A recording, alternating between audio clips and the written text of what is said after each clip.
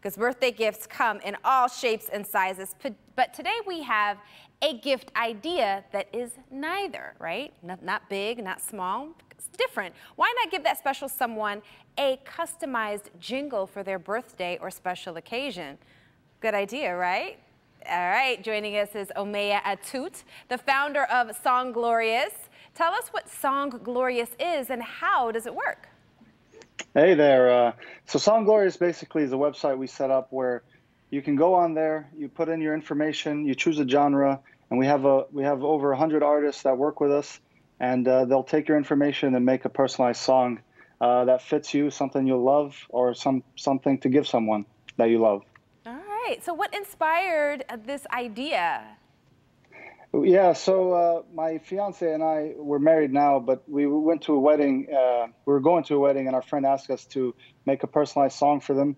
And uh, we know them well, so we wrote some details we know about them, and it, it, was a bigger hit than we ever thought. People were crying, and wow. so we're like, you know, why not set up a website? And uh, you know, there's there's clearly a demand for it. So, uh, and we enjoy music, so well, we all love something different and unique. So let people know how they can get more information and learn more about uh, Songlorious. Yeah, just uh, go to songlorious.com, S O N G, uh, Glorious, Song and Glorious together with one one G, and uh, you just click on uh, create my song, and you just get started there. It's really easy to do. Okay, so now we're gonna bring Jason in.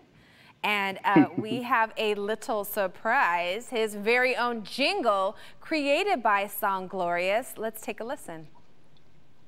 I'm about to tell you about a special guy. If you're feeling down, no doubt he'll make you smile. He's turning 50, but you wouldn't know it. Pop culture on his mind, and he's quick to show it. Get it? If you wanna be like Jason Carr, you need salt and pepper hair. Interviewing superstars, used to be a DJ.